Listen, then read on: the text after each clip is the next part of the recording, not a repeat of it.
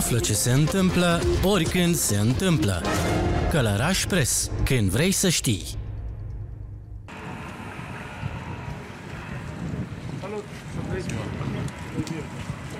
Să stăm de vorba la ISU, vă rog, la sfârșit. Aici că ei colaborează bine. Asta am văzut aici. Eu i-am văzut lucrând. Chi- Chiar am văzut acum discuțiile și asta au fost foarte pozitive. N-am văzut o problemă. Bine? Dacă mai Dacă avem... vreți, ne da? mai vedem. Dacă veniți la ISU sau la asta, ne mai vedem. Dar a fost foarte bine discuția și vă rog să urmărim. Da, mulțumim mult pentru sprijin. Mulțumesc. Mulțumesc mult și uh, cu domnul colonel să vedeți că să rezolvăm și problema cu spitalul și cu ce au uitat problemele. Sigur. Bine. Din partea mea totală Mersi disponibilitate, mult. știți? Mersi mult. Eu vă mulțumesc. Mulțumesc. Toate Tare cele bune, sănătate. Bună ziua, domnule prefect. Și eu, cum este situația uh, în momentul de față? Ce, ce a discutat cu domnul Raed Arafat? Au fost uh, discuții mai mult tehnice, uh, legate de dotări, legate de planul de viitor, uh, în legătură cu Spitalul Județean și nu numai.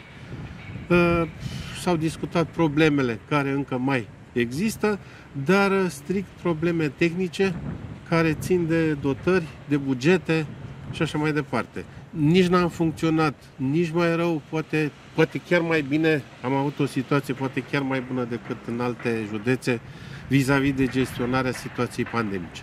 Au fost uh, niște discuții astăzi pe grupurile de jurnaliști, foarte da? supărați unii dintre uh, cei din presa locală că nu au fost invitați la aceste întâlniri.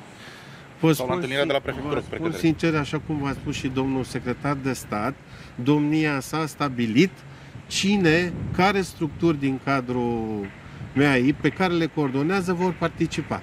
Pur și simplu a spus, vor participa cei de la UPU, cei de la ISU, ambulanța județeană, Consiliul Județean prin președinte și dumneavoastră. Asta a fost uh, formatul pe care l-a stabilit domnia sa. fost nevoiți din cauza acestei perioade de COVID. Să vedem și zona tampon pe care noi Zona tampon aici este un zonă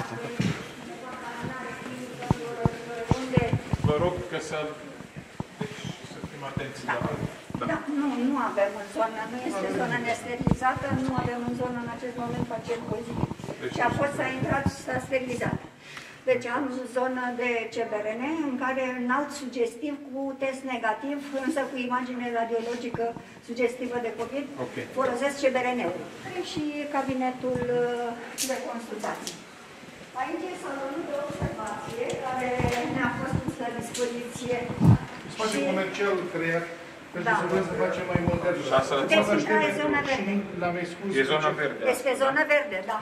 Este zonă Să verde. facem și centru de evaluare, o să tragem niște paravane pe, pe partea stâlpilor. Deci, o să Deci, rămână în perioada COVID-ului asta am folosit-o pentru urgențele pentru COVID, formele ușoare și medii. Pentru Asta e că am foarte concentratoare de oxigen. Acum, acum, nefiind cazuri critice care le aveți și tot, totuși, asta este sterilizată, bănuiesc. Da, și asta, normal, deci nu mai e o normal, problemă. da, intru după... Voi puteți intra aici. Da, putem, putem intra, dar dacă ne vine un pozitiv, trebuie să te miști ne în adaptăm partea repede, altă da. cu tot ce este. În Deci momentul aici în care- introduceți nu pozitivii critici numai, orice pozitiv îl introduceți. Deci introduc pozitivii cu stare gravă și pozitivii critici. Iar pozitivii urgențele, non-urgenți, să spunem, formele ușoare și medii, le-am gestionat în Am salonul înțeles. de observație. Viitorul că și, că și spații și asta, dumneavoastră stați mai bine decât alții. Viitorul poate va trebui unele chestii aranjate, făcute. 100%. De doar Deci să... asta, ucurile sunt pentru evoluție continuă. Deci nu...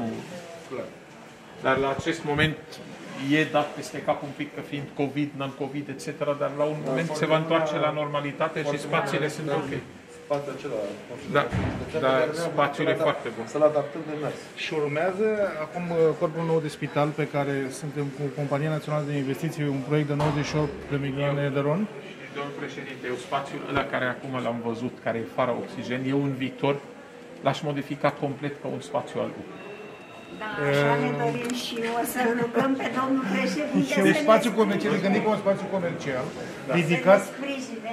la nivelul uh, sălii, sălii liftului ca să putem să facem acel spațiu comercial încât cei aparținătorii care vin să vadă un pacient să nu mai ajungă în spital, să pentru poată să se că întâlnească. Au nevoie de un spațiu, de asta se Da. Adică aici, Un spațiu de dacă mai este întâlnire. spațiul respectiv, securitate. Eu vă spun pentru pacienți și asta. Va crește, numărul continuă, din Noi păcate. trebuie să dăm încredere Da. pacienților că Spitalul Călăraș intră în normalitate pentru că neîncrederea și mesajele care s-au dus cu eșecurile care au fost în timp în Spitalul Călăraș a creat totuși o rezervă Problema a oamenilor să vină la principală e Călăraș. personalul, dar înțeleg că 25 de medici au fost aduși, așa că trebuie să vedem În continuare cu dumneavoastră să putem să completăm uh, liniile de gard, urgență, da. foarte de urgență, liniile de gardă la urgență ca să avem totuși uh, siguranța că toți pacienții care vin sunt uh, Acum sunt preluați și doi tratați. medici de la Bagdazar care vin și fac gardă. Două și încă o doctoriță, un doctor de la Spitalul de Constanța. Constanța. Cu Să jumătate vedem de ce normă, putem completa. urgentiști, trei urgentiști. Mulțumesc mult de tot și mulțumesc pentru ce ați făcut la ISU cu proiectul european. Da. Da. Mersi mult. Mersi și ne auzim. Ok. Și acum ai conștient acum? Acum nu.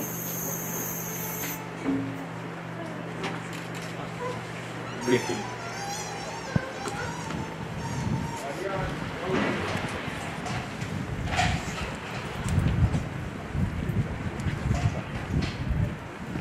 Care au fost uh, primele impresii? Înțeleg că mai sunt multe lucruri de pus la punct. Da, așa este. În primul uh, rând, uh, domnul ministru a venit să vadă dotările pe care noi le-am uh, le-am uh, dat către Inspectoratul de Situații de Urgență printr-un proiect uh, transfrontalier România-Bulgaria.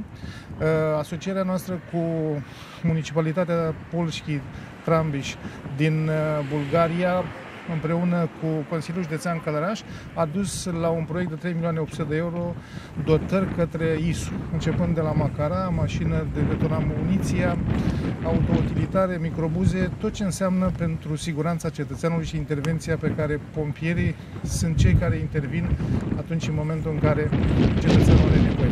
V-aș fi felicitat pentru această investiție. Da, așa este. După care am continuat la prefectură și am analizat toate problemele pe care le are ambulanța la nivelul județului Călăraș, Inspectoratul de Situații de Urgență și uh, UPU, Unitatea de Primiri Urgențe a Spitalului Județean Pompei Samarian. Împreună cu managerul și cu uh, prefectul județului am analizat și am spus și punct- punctele slabe și punctele uh, uh, mai puțin slabe ale județului Călăraș și le-am uh, pus într-o poziție în care domnul ministru să fie informat și să poată să le gestioneze pe viitor, ca în anul 2022, începând cu fondurile europene, PNRR-ul, cele care vin acum să ne poziționeze într-o normalitate, spunând că începând de la dotarea spitalului cu aparatură de urgență până la ce înseamnă astăzi ambulanța în mijlocul orașului și să poată să găsească o formulă de a putea să o scoată în afara orașului, să intervină atât de ușor și în județul Călăraș și în uh, municipiul Călăraș. Uh, Cum e colaborarea cu prefectul județului? Pentru că au existat câteva uh, tensiuni, ultima chiar uh, anul trecut în, uh, în luna octombrie, când uh, prefectul i-a luat 5 zile să uh, acorde încă 20-25 de paturi pentru, pentru uh, bolnavii de COVID.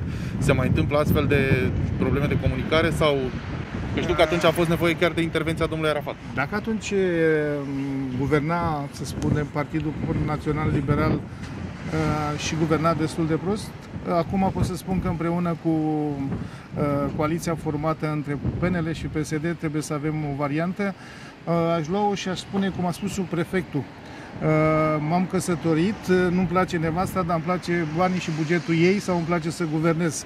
Cam așa suntem noi astăzi într-o coaliție care suntem obligați să ne punem la masă și să putem să guvernăm, chiar dacă sunt anumite probleme care ne despart și care nu ne apropie. Dar trebuie să ne gândim că votul cetățeanului ni s-a dat să putem să venim în sprijinul cetățeanului, să realizăm lucruri pe care cei de lângă noi așteaptă să punem în practică promisiunile pe care le-am făcut înainte să fim aleși. Mai aveți nevoie de cadre medicale pe care trebuie să le aduceți? Înțeleg că au fost luate decizii în acest sens. Au fost luate decizii, nevoile pe care noi le avem pe- sunt pe anumite specialități rare, nevoi care există la nivel de țară, însă și acolo noi reușim punctual să acoperim astfel încât să asigurăm un act de calitate și continuu pentru cetățean. Unde ar mai fi nevoie de, de medici noi? Pe ce specializări? Pe neurologie, cardiologie, bineînțeles terapie intensivă și uh, ceea ce, tot ceea ce înseamnă unitate de primiri urgență. Uh, Domnule Rafat, astăzi ați fost și în Ialomița și în Călăraș. Uh, uh, Încep cu ultima știre pe care am citit-o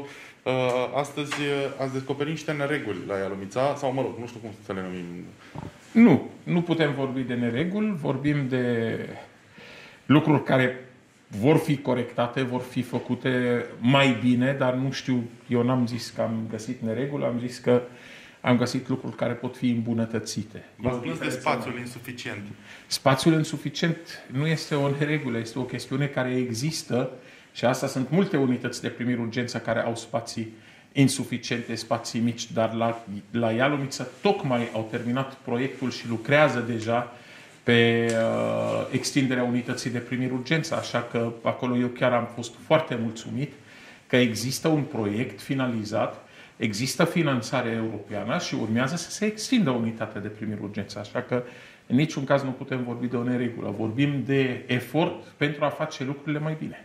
În ceea ce privește Spitalul Județean uh, de Urgență de la Călăraș, și acolo uh, au fost câteva discuții legate de uh, fluxul de pacienți care ar trebui deci, direcționat mai bine. Colegii noștri au făcut foarte bine și au redirecționat pacienții, adică au restabilit fluxurile pentru a face față valurilor COVID și pacienților COVID. Acest lucru este normal, s-a întâmplat în toate spitalele. Unitatea de primiri urgențe, care era foarte bine concepută, cu camera de resuscitare, camera de urgențe majore, cazuri cod verde, cum zicem noi, acum a trebuit să renunțe la o parte pentru COVID și la o parte pentru non-COVID. Normal că asta, că și organizare, perturbă un pic activitatea într-o unitate de primiri urgență, dar asta este obligatoriu și s-a întâmplat absolut în toate spitalele și în toate unitățile de primiri urgență. Ce am văzut acolo este că s-a pus la dispoziție de totuși unele uh, spații ca să poate să lucreze cu pacienții care sunt, uh, uh, care uh, sunt uh, COVID pozitiv și unde va fi inclusiv centrul de evaluare care e stabilit de Ministerul Sănătății ca să fie în completare la ce se întâmplă în UPU. Așa că n-am ce să reproșez. Eu sper să terminăm cu pandemia cât mai repede, ca să revină lucrurile la normalitate. Problema care am găsit-o nu numai aici și la Ialomița, este problema personalului. Deci nouă ne trebuie angajare de medici, angajare de personal și la ambulanță am fost, deci sunt discuții pe partea de personal uh, medical, se deschid concursuri, nu se prezintă, deci astea sunt aspectele care uh, le sesizez, dar totuși, în același timp, trebuie să subliniem că aici am găsit totuși medici care au venit să facă gardă din uh, București. Am găsit astăzi o doctoriță care este, dacă nu mă înșel, de la Bagdazar. Uh, da. da. A fost de la Bagdazar, pregătită în centrul Bagdazar da. și... Și care este aici. Sunt discuții cu Constanță că să vină medici să lucreze aici în partea de urgență.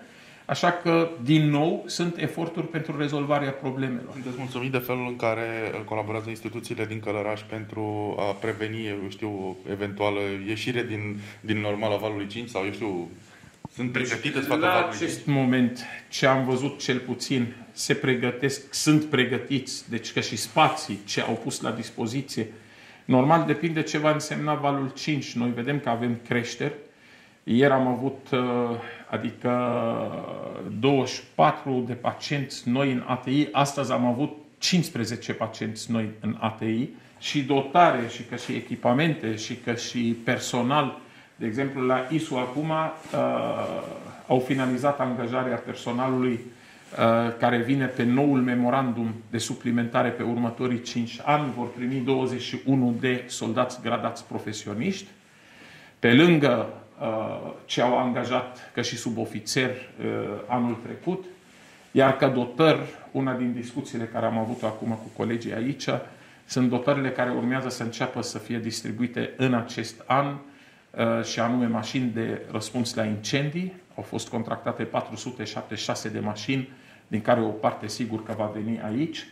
O să vedem în final vechea mașină numită APCA trimisă în pensie, și va fi înlocuită de mașini de 10.000 de litri noi. Pe partea de dezvoltare a sectorului situațiilor de urgență, și județul Călăraș și județul Ialomiță vor vedea un impact serios în următorii un an, un an jumate. Și sunt normal pe lista dotărilor care există la IGSU. Numai anul trecut IGSU a semnat împreună cu Inspectoratul General de Aviație peste 430 de milioane de euro în dotări, care urmează să sosească anul 2022 2023. S-a primit tehnică de intervenție, dotare, Uh, și cu sprijinul Consiliului Județean de la Călăraș și la fel uh, s-au, s-au, s-au primit echipamente, mijloace. Din punctul ăsta de vedere, cum a zis și domnul ministru, suntem pregătiți, vedem ce înseamnă în viitor valul 5, valurile următoare, sperăm să, să termine cât mai repede pandemia, să, să mergem treaba să ne facem uh, într-o normalitate. De fapt, astăzi, ca să, ca să explic, pe lângă ce am verificat împreună cu domnul inspector general și cu colegii, uh, ca și dotare care există și să vedem în ce stare este pregătirea pe tot, astăzi au fost livrate din partea Consiliului Județean pe program uh, transfrontalier un set de echipamente care constau din mașini 4x4, microbuz, camioneta mai mică, care sunt pentru dotarea Inspectoratului pentru situații de urgență venite pe fonduri europene transfrontaliere, care iarăși e un pas important și astăzi l-au primit în dotarea lor. Află ce se întâmplă oricând se întâmplă. Călăraș Pres. Știri despre tine.